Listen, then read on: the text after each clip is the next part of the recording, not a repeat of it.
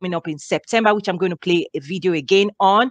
Um, but we also want to encourage people to to to to test this out. Like, don't just believe myself and Mr. Akindele, you know, check it out, do your own research. But what we don't want people doing is waiting for somebody somewhere to take them to the promised land. We all have to um, enlist ourselves. And then the other thing I'm seeing as well is as we're marshalling, and I say we're building an army, we also have to equip um, this army with the right resources, the right knowledge, right capacity to be able to do what needs to happen. So um, I'm going to play that promo video for the Intra-African Trade Fair um, that is going to happen in Kigali, Rwanda.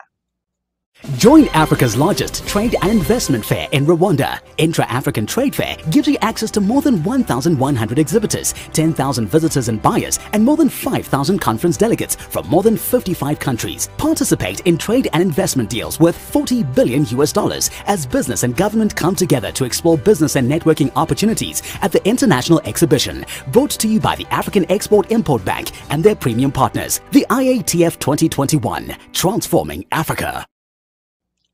Okay, I'm also looking forward to the next um, AFCFTA roundtable. In fact, that was one of the conversations I was having um, with my previous guests before. Um, was the fact that we know we have to continue educating ourselves. We know we have to continue, um, you know, sensitizing ourselves and answering questions. For me personally, that's something I'm investing in. I'm investing in in in. Oh, this is like the how. This is not just talk because when I moved into this space, I realized there was a lot of um, what I call unproductive engagement, where a lot of people, and I don't know if you've seen that, where there are more people, there's a lot of noise around talk, but when you look at the numbers, yeah, the numbers don't reflect the talk. That's when you correct. think about, I have a first degree in math, mathematics, so show me the numbers. The number says US does about 2% total trade with sub-Saharan African countries. So I tell people something is not working. Yeah. Something is not working. So how, how do you take people from just talking about trade? Because even now within the context of AFCFTA, you can see so much talk, right? You can see so much noise, you know, but then how do you this, you know, determine who is actually doing what?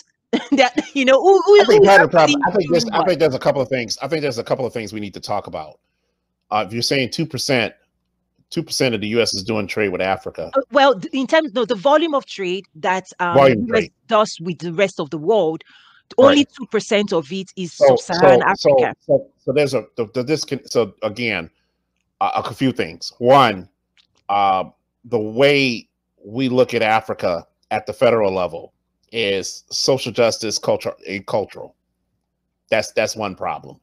Um, or or I always forget. Excuse me. The third thing is uh, security. That's the third thing mm. we look at. Um, the other thing, the other problem is when you look at foreign policy makers in in DC towards Africa, most of them are white. Mm. So where are the black foreign policy folks? that's a conversation. That's a that's a very very important conversation. very sensitive too. Very sensitive. The other thing is where are your think tanks here mm-hmm. that direct policy, economic and foreign policy toward Africa okay. that look like you and I. Yeah. That's that's that's because whoever controls that narrative is going to control the outcome. Mm-hmm. And so we have to again, we have to start looking at Africa, start looking at countries in Africa as a resource, period. Whether it's Ghana or South Africa or Nigeria, Rwanda, we have to look at these nations as a resource that we can do business with and build relationships with that's going to impact our communities here in the US. Those conversations, I would like to have those com to be honest, I like having those conversations at the state and county and local levels of government. And the reason why I like having those conversations at that level is because I can touch my local representative, I could touch my city council person, I could touch my county commissioner, I could touch my state representative or state senator in these kind of conversations and get them to see the importance of how this is going to benefit their district long term. But there's so many moving parts that we need to put together that it's not funny as when it went to to increase that two percent. Mm-hmm. That 2% comes from us not being engaged. See, what the thing is, the thing we the thing we do is the thing we do is we we we we fly to places like DC and we sit in these conferences. and we have all we we chicken and hard green beans and hard rolls, drink water. We exchange business cards.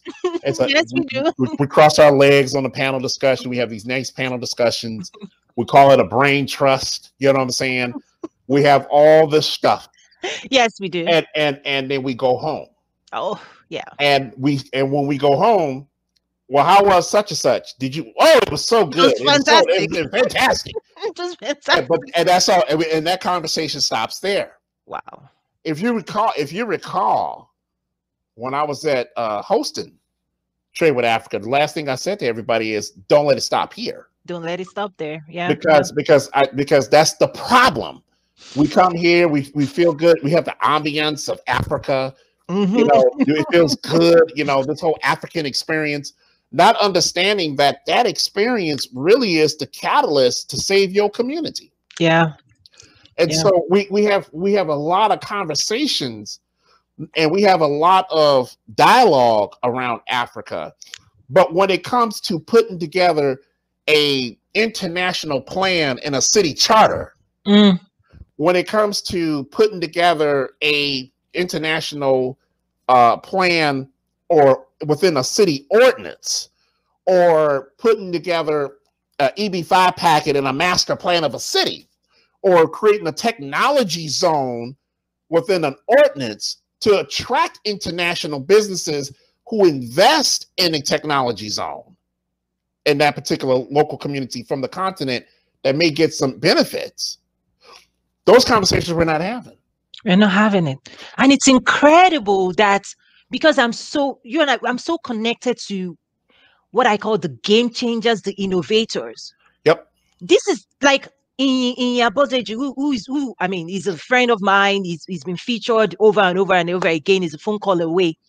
This guy, through technology, right, right. attracted $24 million investment from Mark Zuckerberg into Lagos. Yep. Right. Yep. So people are doing this. When you think about um, you know, what's going on with M-Pesa, and Kenya. Kenya is leading the world in financial in- inclusion when it comes to digital technology.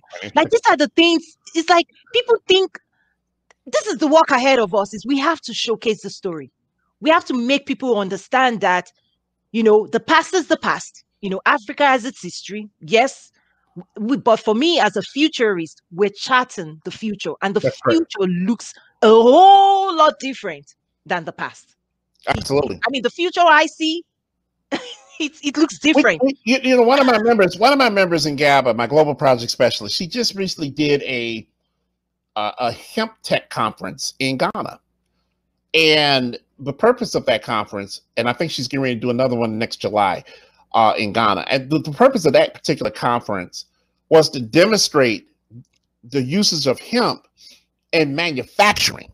Mm. That's a tax base. Those are jobs. That's creativity. And it's it can be and it's also global because you could do it there, you could do it here. You can do now when you talk about African continental free trade area, now you could do you could do you could trade with nations could trade one another based on these new industries, hemp tech and and and you mentioned um you mentioned um Kenya with uh, financial technology, fintech, which is a which is a billion dollar industry globally these things, these are the things that are interconnecting from Africa to America, America to the Caribbean. We're in it, we're connecting the dots. Yes. But but you know, we have to, in order to do that, we have to learn to get out of our comfort zones. Yes. Understanding yes. understanding that real estate is a major player. Yes. Internationally, not just locally, internationally. Yeah. You control the land, you can do what you want. I love it. I love it. You know, uh, even along that line, um, you, you, people that follow the news know that you know just a couple of weeks ago, um, Shola and Ezra, um, leaders of Paystack, Stripe just acquired their company for I think yeah. was it two hundred million? Something? Yeah, two hundred million. Yeah. You know, but their story, people don't realize that fast. You know, their story is one of Silicon Valley. There's a US Africa engagement in that, right? Where they right. went to incubator and Y Combinator. They went through um, Y Combinator a couple of years ago and all of on and on. So what's going on is that people don't understand or people don't may not see the opportunity that when we talk about trade with africa at least when i talk about trade with africa it's a big umbrella that catches a whole lot of space from right. um, agriculture to technology um, to manufacturing to right. retail to supply chain to logistics and over the next couple of weeks i'll be bringing on you, will be you'll be seeing the, the breadth of this um, we even have one of the uh, uh, should I say, the most knowledge, one of the most knowledgeable experts when it comes to supply chain in the US, because I worked um, in that world before. So I've brought him on. He was like, Tony, what do you want me to say? I was like, you're going to tell me about um, the complications when it comes to supply chain in America, because what we are cracking and what we are solving for is linking even the supply chain back to Africa. Because today, right. today, you have ships going to a country like Nigeria and when they turn around and they're returning back to the US, most of them come back empty. Empty.